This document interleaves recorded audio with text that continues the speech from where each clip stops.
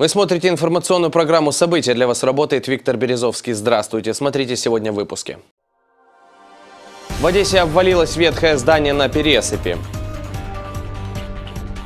Трамвайный маршрут номер один продлен до Пересыпского моста. Одесские журналисты выиграли чемпионат мира по футболу. Президент Украины собирает военный кабинет при Совете нацбезопасности и обороны. Об этом глава государства заявил в эфире одного из телеканалов. По словам Петра Порошенко, на заседании будут обсуждать ситуацию на востоке страны. Петр Порошенко также надеется, что в ближайшее время будет завершено формирование Высшего Совета юстиции, который позволит усилить ответственность судей. Порошенко напомнил, Верховная Рада уже сняла неприкосновенность с трех судей.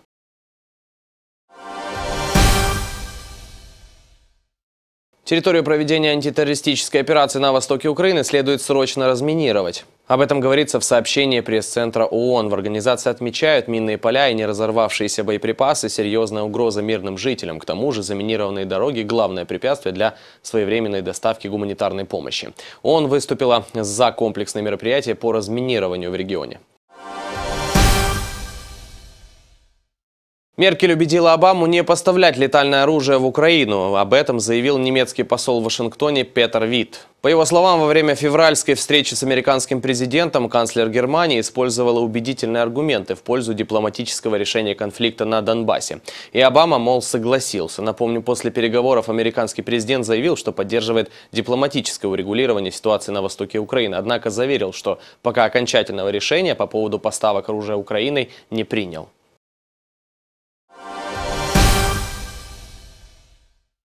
В Европейском Союзе полагают, что Украине понадобится более 41 миллиарда долларов помощи в ближайшие несколько лет. Об этом заявила вице-президент Европейской комиссии Кристалина Георгиева. Международный валютный фонд подсчитал, что в ближайшие несколько лет Украине необходимы для стабилизации 41 миллиард долларов. Я думаю, что эта сумма может быть еще больше. Полтора миллиона людей прошли через войну, потеряли крышу над головой. Я думаю, что поддержка этих людей потребует гораздо больших средств, чем мы думали, сказала она.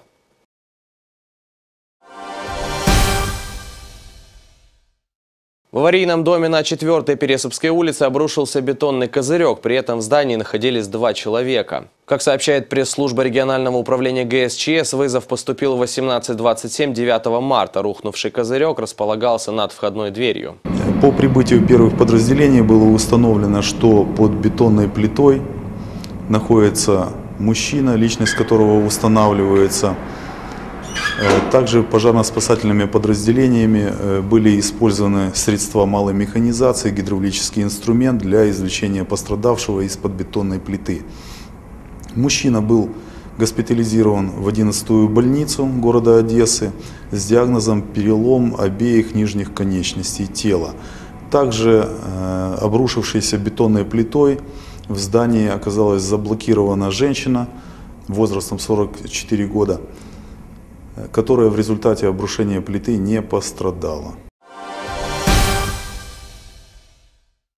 Городской электротранспорт продолжает наращивать конкуренцию с другими перевозчиками города. Трамвайный маршрут номер один продлил с 8 марта свой путь до Пересыпского моста.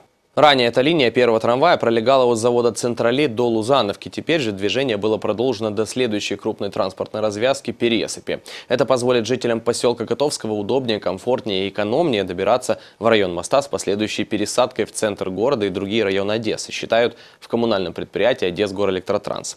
На линии стало на 8 вагонов больше. Такое перераспределение, отмечает предприятие, позволило значительно сократить интервал движения, а пассажирам гораздо быстрее добираться до нужной точки назначения. Напомним, что городской электротранспорт – единственная отрасль в городе, которую до сих пор не коснулась повышения тарифов на услуги. Проезд в одесских трамваях по-прежнему равен 1 гривне и 50 копейкам за одну поездку.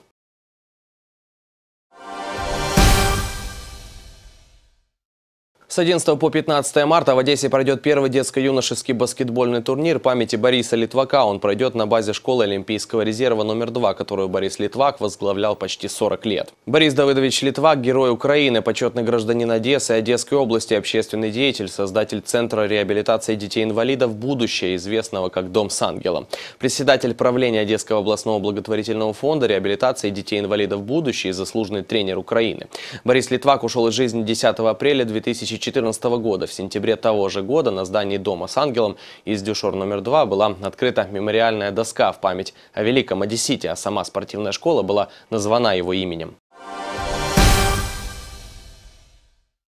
Из Египта с победой футбольная сборная украинских журналистов выиграла второй открытый турнир, организованный Александрийской библиотекой. Команда, составленная из семи одесситов и пяти киевлян, впервые выиграла соревнования, которые именуют неофициальным чемпионатом мира. В Одесском пресс-клубе чествовали победителей. С 1 по 5 марта на спортивных площадках египетской Александрии разыгрались серьезные баталии. Восемь команд, разделенные на две группы, боролись за статус чемпиона мира среди журналистских сборных. Украинскую команду собирал глава Одесского Московского филиала Национального союза журналистов Украины Юрий Работин. На пути к триумфу, говорит Юрий Анатольевич, было немало преград, в том числе организационные трудности и лояльность судейского корпуса хозяевам турнира. Если групповой этап украинцы прошли без особых проблем, набрав 6 очков и заняв второе место, то уже в полуфинале нашим футболистам пришлось столкнуться с серьезным сопротивлением. Я взрослый человек, но я сегодня плакал от радости, плакал иногда от разочарования из-за того, что была неправильно судейская коллегия, потому что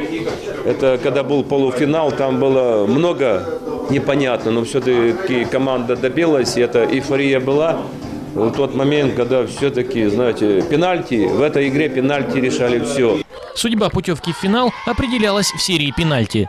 По аналогичному сценарию развивались события и в финальном поединке.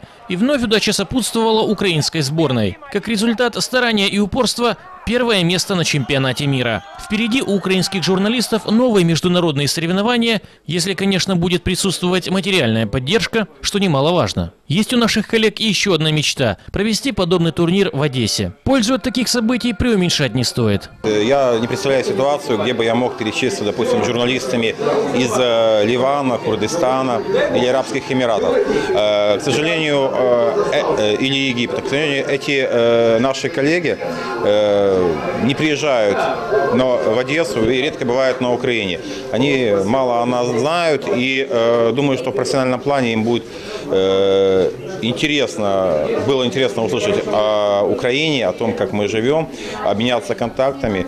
Я могу сказать, что после э, окончания турнира у меня только, например, э, на страничке Фейсбука добавилось около 100 друзей из арабского мира, и э, из них человек, наверное, 30 – это профессиональные журналисты. И о погоде. Завтра в Одессе пасмурно ожидается дождь, температура воздуха плюс 2, плюс 4 градуса. Оставайтесь с Академией, наши корреспонденты будут и дальше информировать вас о самых актуальных новостях. В студии был Виктор Березовский. Всего доброго.